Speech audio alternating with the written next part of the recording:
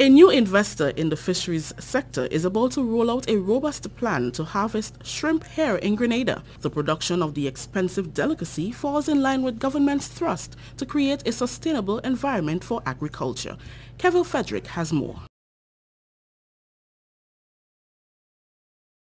Shrimp is a delicacy enjoyed by people all over the world and research has shown that it obtains a very high price locally, regionally and internationally hinge upon a United Nations Food and Agricultural Organization report which suggests a major shortage of seafood, mainly fish, due to increased global consumption. Grenada has seized the opportunity to take advantage of shrimp fisheries in a sustainable way with the help of overseas investments.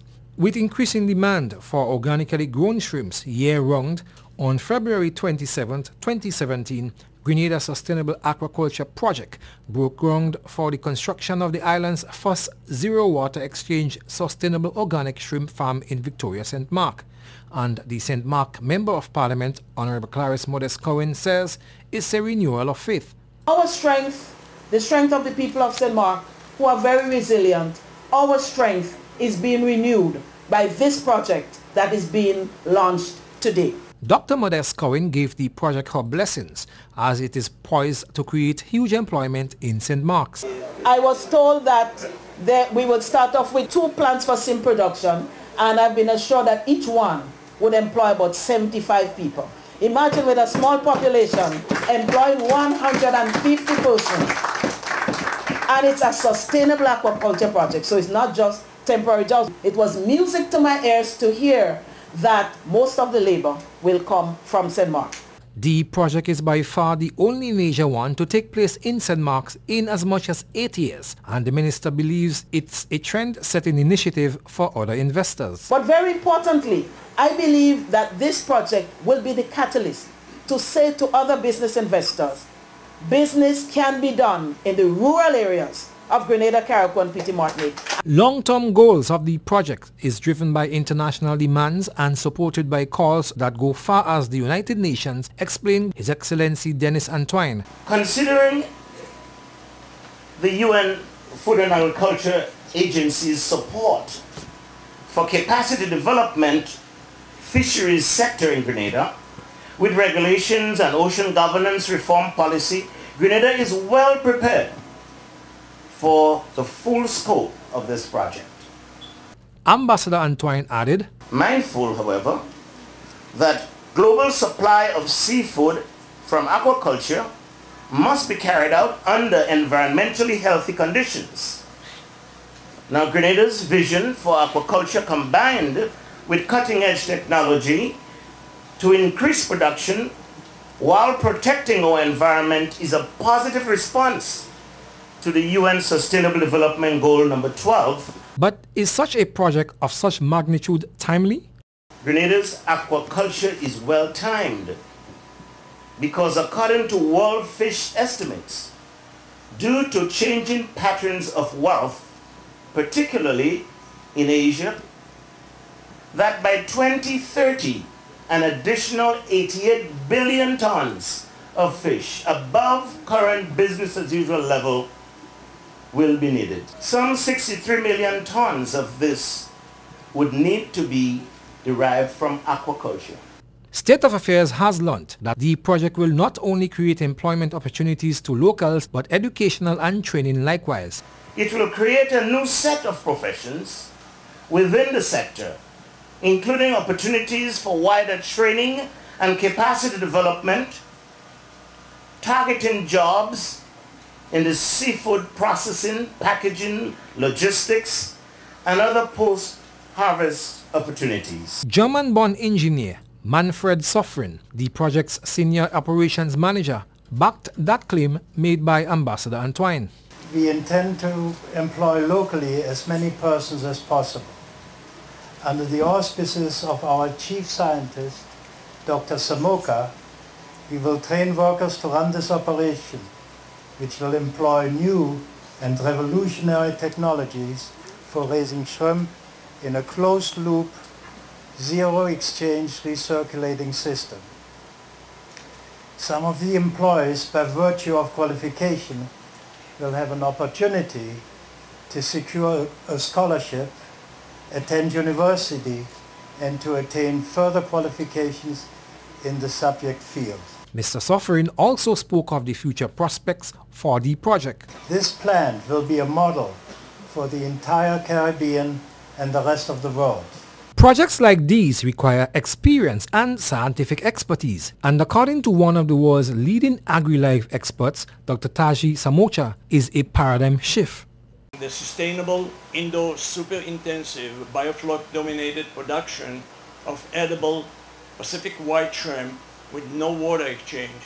This is a basically a new paradigm that we are using and looking forward to implement it here for the benefit of the Grenadian people. Dr. Samocha, a well-known professor at Texas A&M University says global trends and demands for safer food productions is a priority. Consumers, however, increasingly drive this trend by demanding safe, high-quality seafood that meets sustainable production practices that reduce aquaculture environmental footprint to include effluent and pathogen the American scientist is confident that the technology that will be used in the project will lead to the production of high shrimp quality, noting that the existing environmental conditions in St. Mark was advantageous. Now, what are other advantages that we have here? We have water conservation, minimal water discharge, small footprint, year-round production, faster growth of animal that especially are bred for this uh, type of uh, trade. lower disease rate, namely biosecurity that is implemented, more efficient protein use, lower feed requirement, higher yield, and overall sustainability. He further noted, Previous study at Texas A&M AgriLife Research and Mariculture Lab have utilized combination of airlift, pump, and other devices to maintain the shrimp requirement in terms of uh, dissolved oxygen. And this is very, very significant and we are going to implement it here. The project will be executed in phases. Phase one will be the construction of one complete production system consisting of nursery with 18 tanks of 150 cubic meter grower tank with annual production of 70 ton per year. Phase two will include the following. Three barns with expansion of the nursery and the grow Operation and manage of the system with the local manpower, very important. Development of the GSA Grenadian brand of organic shrimp into premier market in the US and Canada.